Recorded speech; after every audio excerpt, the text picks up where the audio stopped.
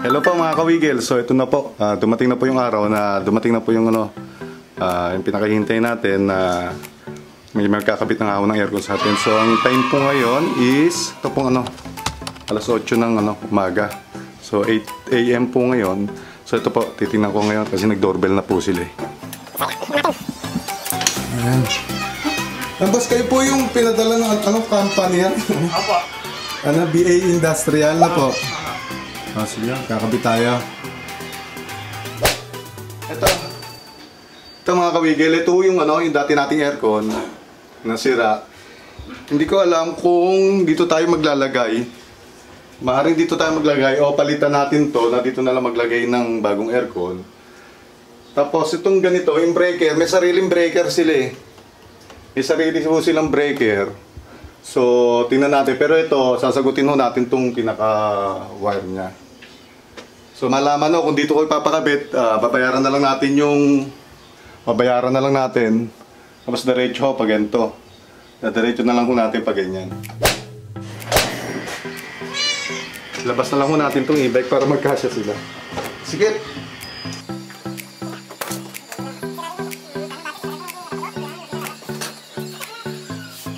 Kaya tambak rin ho eh. Ano mangyayari? Dito na lang rin. Tapos gagawin na lang. Oo, oh, bagay para magkasya yung 10 feet. Hmm. Kaya lang. So, yung drain nyo, doon din pa ang bagsak. Oo, ipit na lang dito. Sa ho, ano. Dami sugat yan. Ito.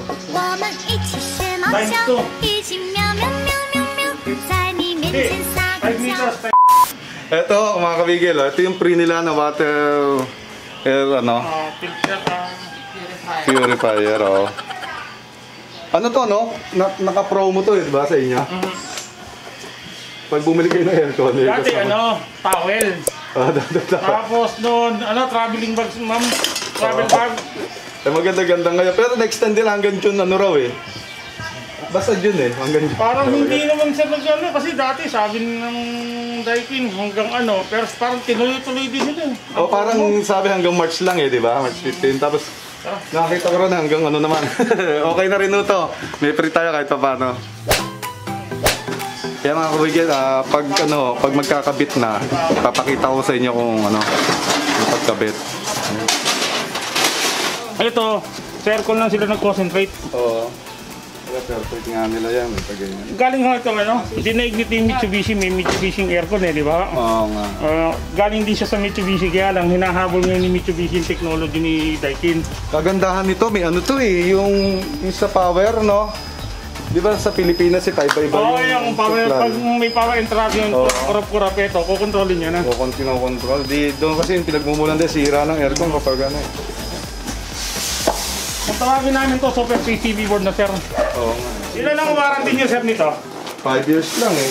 Sa ano lang yon Compressor sa... One, Sa one year lang. Ito lang ba?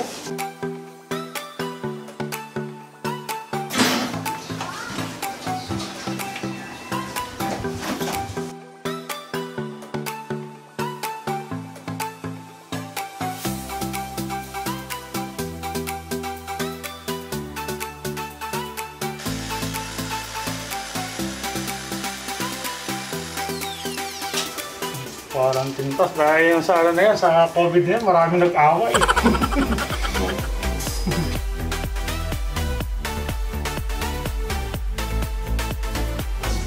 Ayan.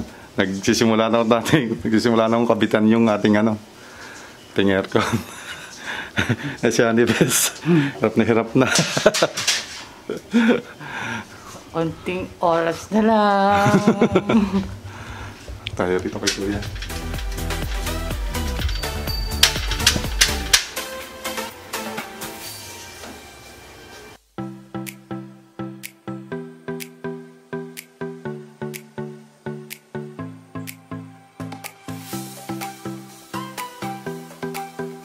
Bukas na.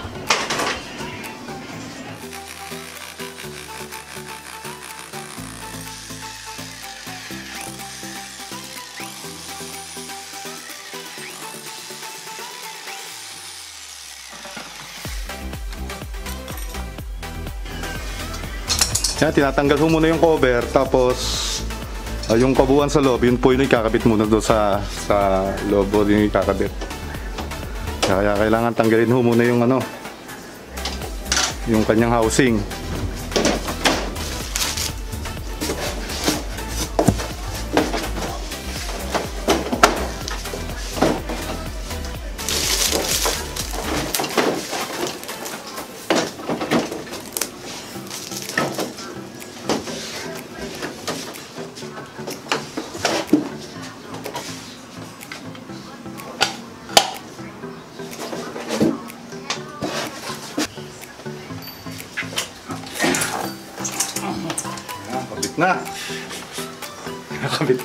Kabit na yung ating ano.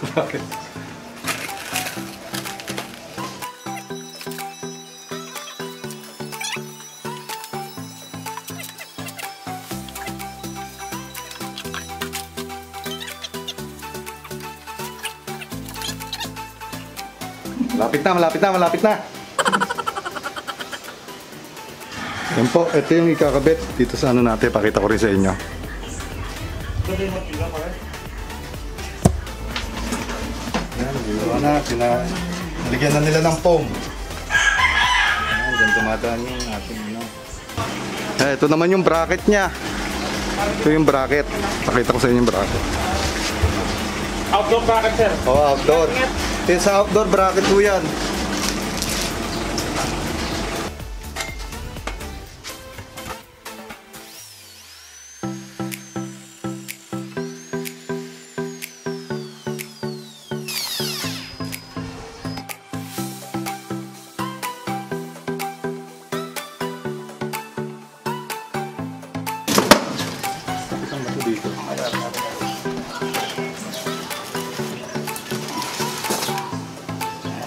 Yan, ha. Angat niya, angat. Angat, angat niya. Teka lang, sir, sir. Bitaw, bitaw. Ikot lang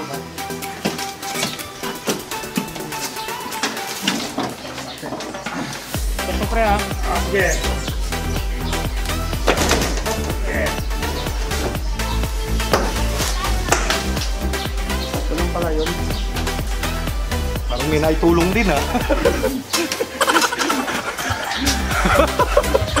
Sabi nga lang din pa. Kaya ipakita ko rin sa inyo yung pagkabit.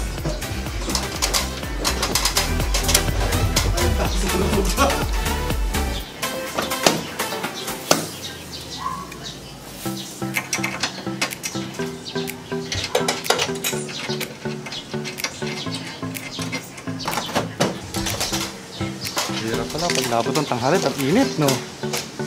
Ito lang ngayon eh, ang sobrang init na eh.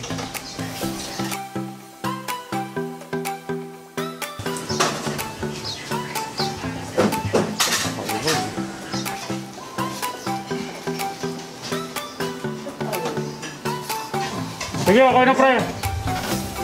Okay na, okay na.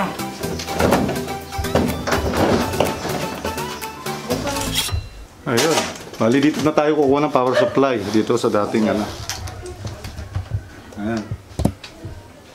Kapit ko dyan. Ayan, power supply. Kapit ko doon. So, ibabaw na lang ako, ibabaw.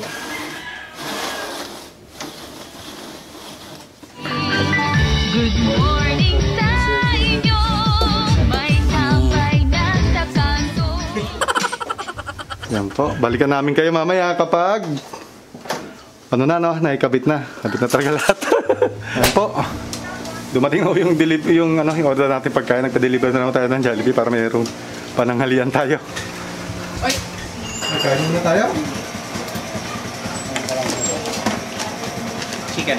Ayan, thank you. Kasi matata na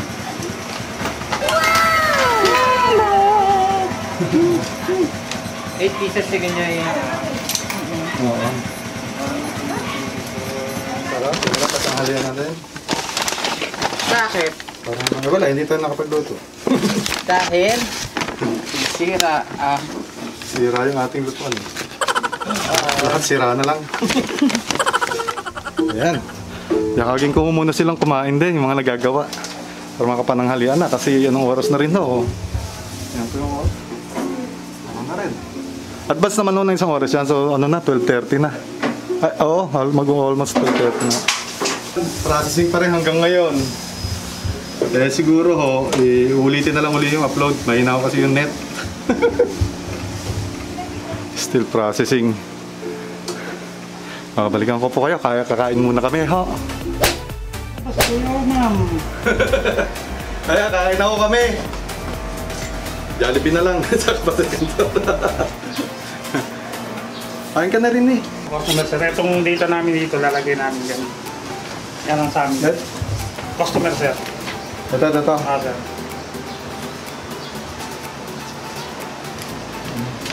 Tapos, next sir, deliver. Ito na yan, nasa inyo yun, tinan niyo yung unit. Ito, dito na lang rin. Hmm.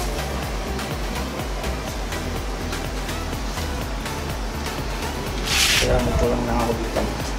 Ito yung report namin na ilalagay dito. Ah, Ang warranty, ito, no? Eh, hindi tatago mo warranty yan.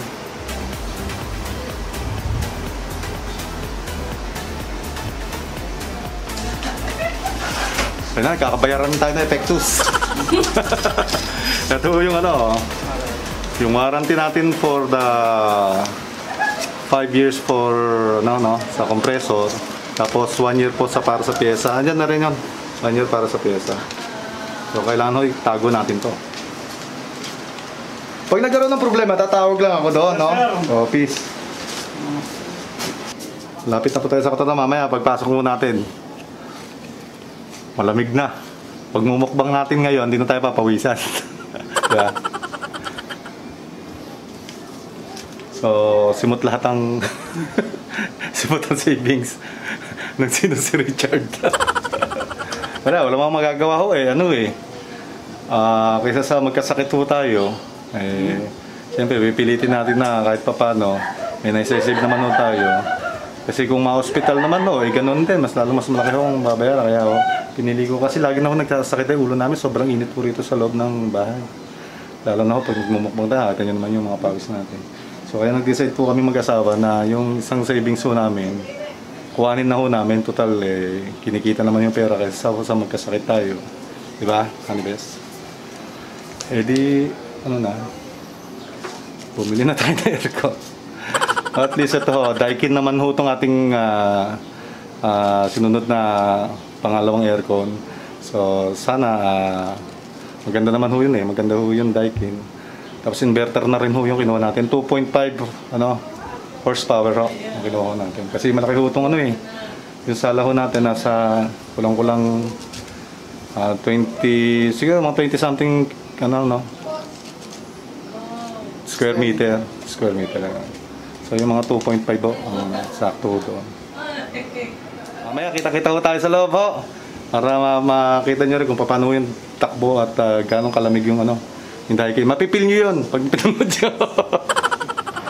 Thank you po. Ikaw, ingat to, boss ha.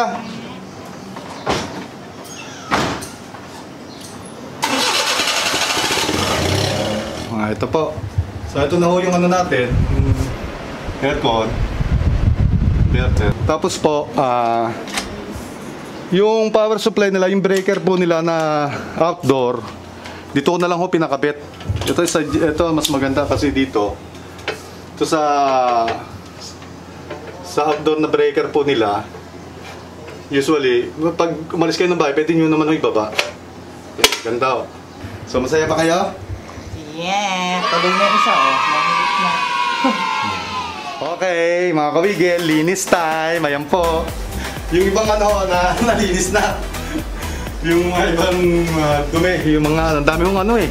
Alikabok, tayo mga pinag...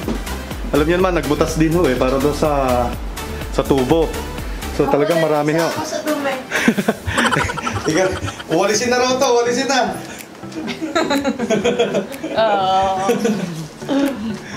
Ayan po, nararamdaman na rin ho namin ang lamig. So magili naglilinis muna sa Anibes, magwawalis-walis. Yung ano, alam mo yung mga nakakandidato. Ako na po dyan. Tapos may camera. Sige, Picture, picture muna. Picture. Tapos tatawagin yung ano. Ah, kapitan, ikaw na. Tumulong. Maglagay ka kalat.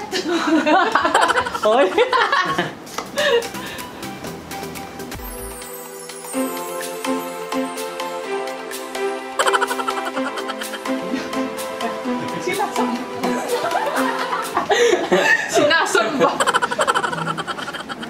Yan, unang-una, ah, papasalamat nga ako pala kami kay Paring Vince, Vincent Peregrino, na nag-refer sa atin na para sa mga kuha ng daikin kahit na lockdown po ngayon, eh mayroon pong ano, mayroong ah, yung naggagawa pa rin yung daikin, nag, mayroon pa rin silang operation.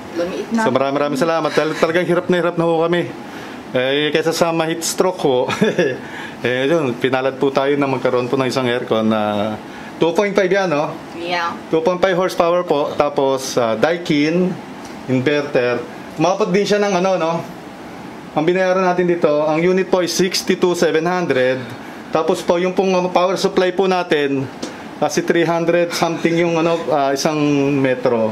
So, umabot lang ng almost ano, 5 meters lang. So, 1.5 lang yon. So, yun po yung additional na na binayaran namin. Yun naman pong installation is free ho. Free, ho, ah, free po yun ngayon sa Daikin. Basta wag lang ho kayo lalagpas ng 10 feet. No? So, yun. Maraming maraming salamat po mga kabigel. Sana po nagustuhan nyo itong kahit pa paano itong vlog ho namin. Sa susunod na buwan ho, ah, malalaman natin Kung magkano. Oo, mag, mag, magpapaplug din mo natin. Kaya ang tabayanan nyo kung magkano ang ano, ah, cost ng kuryente nitong Daikin inverter ho. 2.5 ah, horsepower. So yun po. Kaya maraming maraming salamat kay na kuya ano, sa nagkabit po. Maraming maraming salamat. Shoutout po sa inyo. At ito, hanggang dito na lang siguro. Kaya mga kawigel, kaya bigla na lang mawala.